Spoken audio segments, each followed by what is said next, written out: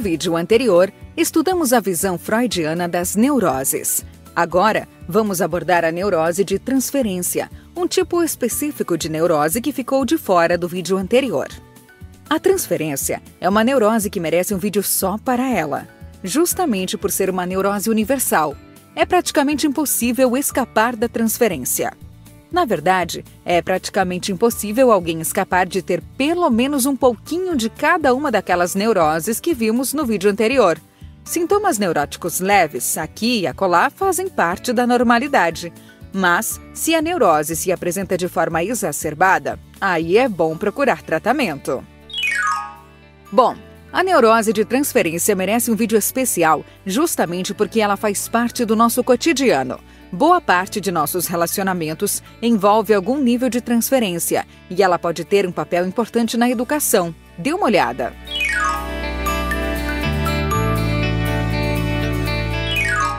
O termo transferência foi utilizado por Freud pela primeira vez em 1900, no livro A Interpretação dos Sonhos. Nesse livro, ele afirma que partes dos acontecimentos que se desenrolam ao longo do dia são transferidos para os sonhos e retrabalhados pelo inconsciente. Muitas das imagens e situações experimentadas em sonhos são simplesmente frutos da transferência, ou seja, o inconsciente, aquela parte submersa da sua mente, transfere para essas imagens e situações as alegrias, tristezas e angústias vivenciadas ao longo do dia como uma forma de retrabalhar as nossas experiências. Os sonhos são uma forma inconsciente de lidar com as experiências diurnas. Mas Freud também percebeu que, assim como o inconsciente transfere os restos da experiência diurna para os sonhos, ele também faz outro tipo de transferência. Nesse outro tipo, o inconsciente dos pacientes transfere sentimentos vividos em relacionamentos do passado para a pessoa do analista. Então, a partir de um momento, os pacientes começavam a depositar em Freud sentimentos que eles tinham por seus pais, por amigos e outras pessoas do passado, em um processo totalmente inconsciente. Mas o processo de transferência desses afetos ocorre em diferentes relações, e não apenas na relação paciente-analista. Ao longo da vida, as pessoas transferem seus afetos vividos na infância para outras figuras que passam a ser depositárias desses afetos. É um processo inconsciente de repetição de formas de se relacionar com as pessoas. Veja um trechinho da fala da psicanalista Eva Tuckerman. Transferência é um fenômeno que Freud observou nos primórdios da psicanálise. Ele percebeu que todas as emoções e sentimentos que os pacientes estavam vivenciando no consultório, na análise com ele, não eram dirigidos, na verdade, a ele, mas sim às primeiras figuras da infância daqueles pacientes. Então, quando ele percebe que aquelas emoções e aquelas experiências não pertencem àquele momento atual, mas sim ao momento passado, ele dá esse nome de transferência porque a própria palavra já traz o significado, né? É transportar do passado para o presente, das figuras do passado para a figura atual. Essa é uma tendência que nós todos temos, na verdade. Né? Os padrões de relacionamento antigos, primitivos, nós temos a tendência de repeti-los, de se tornarem justamente padrões de relacionamento pela vida fora. Então, a psicanálise percebendo isso, ou aliás, o Freud percebendo isso, ele se deu conta que isso poderia ser um instrumento para tratamento dessas nossas particulares neuroses. São verdadeiras novelas, né?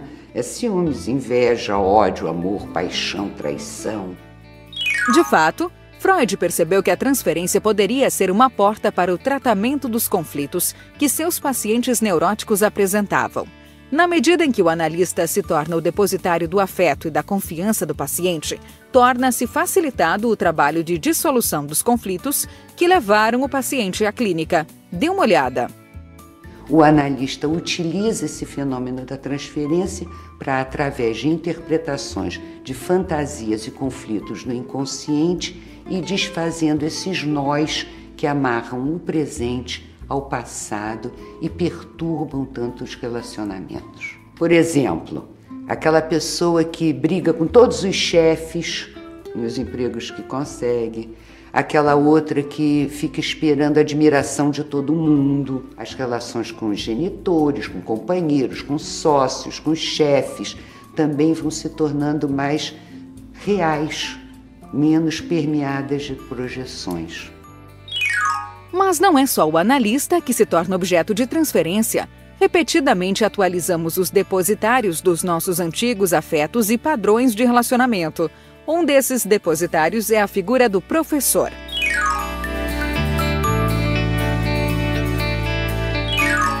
Freud considerou por vários anos que a educação escolar poderia ser uma aliada poderosa da psicanálise. Ele acreditava que uma educação voltada ao esclarecimento das questões relacionadas à sexualidade preveniria a instalação de muitas neuroses. No final de sua vida, contudo, Freud já não acreditava mais nisso.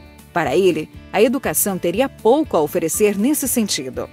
Mas Ana Freud, sua filha, pensava diferente e se dedicou à difusão da teoria psicanalítica na formação de professores. Com o tempo, entretanto, os professores abandonaram o estudo da psicanálise por considerá-la de pouca utilidade.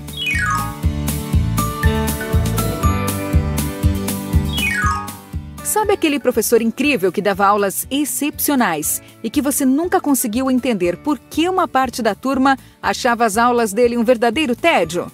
Pois é, esse professor provavelmente era objeto da transferência dos seus antigos afetos. Por isso ele parecia tão incrível para você.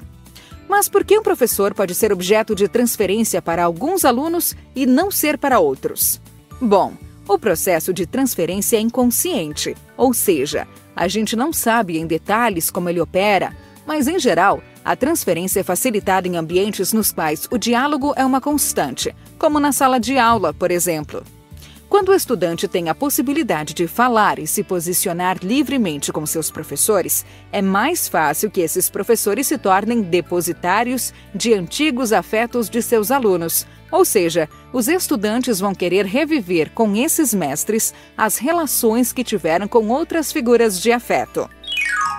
Mas veja que curioso! Na transferência, a figura do professor é esvaziada e preenchida com tudo aquilo que as figuras de afeto originais representavam. Por isso, um professor que é incrível aos seus olhos pode ser visto como medíocre aos olhos do resto da turma, porque você não vê o professor, você vê uma reedição de um antigo afeto.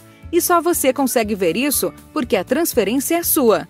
Mas quando falamos em afetos, falamos também em desafetos. Ou seja, tudo o que envolve o universo da afetividade, como o amor, o ódio, a antipatia e o medo, são elementos que estão implicados nos processos de transferência. Freud, por exemplo, teve um paciente que tinha medo de apanhar no consultório porque transferia para o analista a figura autoritária do pai, embora Freud jamais tenha sido agressivo com o paciente.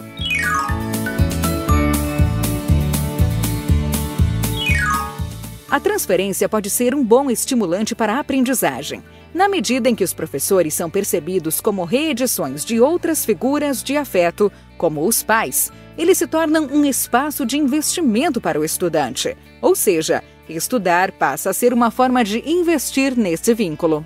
O estudante quer o reconhecimento dos professores e percebe que estudar é uma forma de garanti-lo.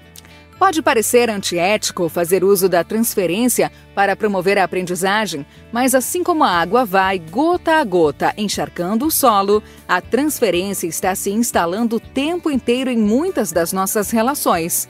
É uma tendência do ser humano. Dessa neurose, ninguém escapa. Logo, os professores, queiram ou não, poderão ser depositários do carinho de seus alunos ou da falta de carinho, claro, pois, como vimos, a transferência envolve uma gama de expressões afetivas que podem ir do amor ao terror.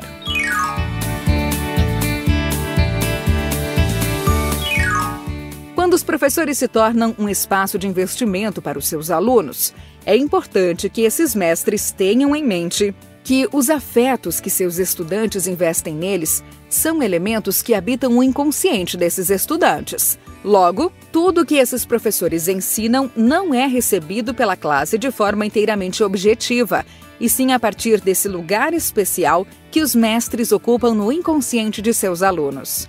Isso quer dizer que o peso da palavra desses professores se reveste de uma autoridade que o inconsciente de seus estudantes lhe confere. Por isso, é importante que os professores saibam manejar a influência que têm sobre seus alunos para que eles também possam seguir suas próprias trajetórias intelectuais. Até Freud teve dificuldades em libertar seus pupilos. Dê uma olhada. Freud's most famous proteges, including Jung, began to differ with him on key points. Freud, the father figure of the movement, would not tolerate this kind of rebellion. He demanded absolute loyalty. And if that wasn't forthcoming, well, then he cut his ties.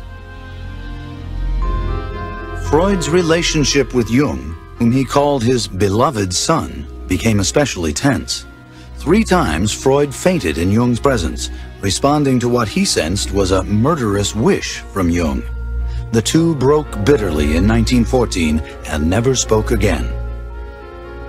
To ward off future betrayals, Freud formed a secret committee of loyal adherents.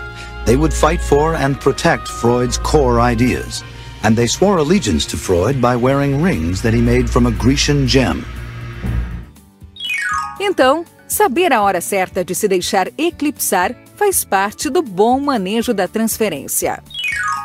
Bom, há muito que falar sobre a teoria freudiana, mas essa série vai ficando por aqui. No próximo vídeo, começaremos uma série sobre a psicologia da Gestalt. Até lá!